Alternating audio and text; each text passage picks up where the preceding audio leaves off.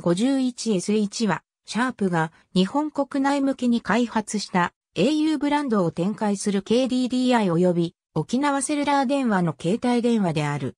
この機種はワンセグに対応しており、905SH や SH903IF と同じサイクロイド機構を採用しており、au 初のアクオス形態である。au では W41SH に続くシャープ製端末の第2弾である。デザインは左右非対称となっている。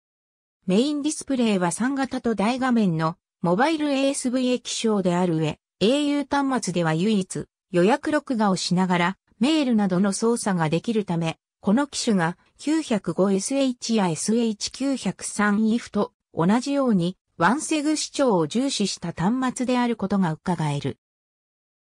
905SH911SHSH903IF には搭載されているフェリーチェは搭載されていないが GPS や地上デジタル音声放送実用化試験の受信機能が搭載されている。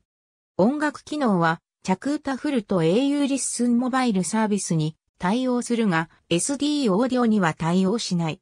日本語入力は携帯書院語が採用されている。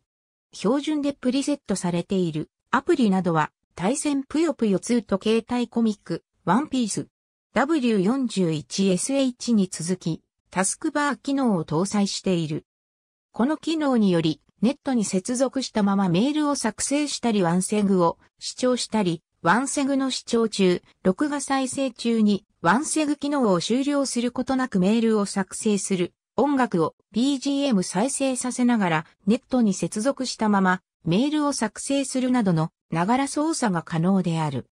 ただし、同社のソフトバンクモバイル向けの 911SH で搭載するワンセグ視聴を継続しながら画面半分にメールを表示する機能には対応しない。これは au 向けのワンセグアプリがナノメディア社の製品で統一されているためだと思われる。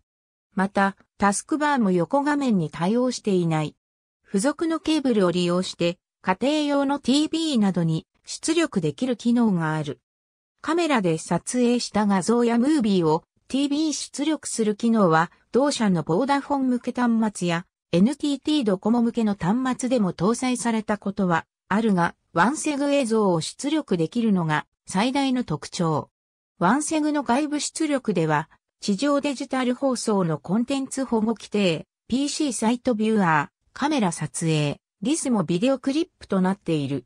文字入力は横画面非対応なので、PC サイトビューアーで横画面表示時に文字入力する際は一度縦画面に戻して入力しなければならない。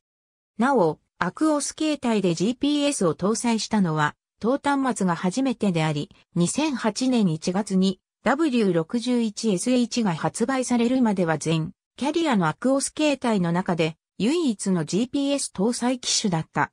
2008年4月10日に以下の不具合の修正が携帯アップデートにより行われた。2009年2月3日に以下の不具合の修正が携帯アップデートにより行われた。ありがとうございます。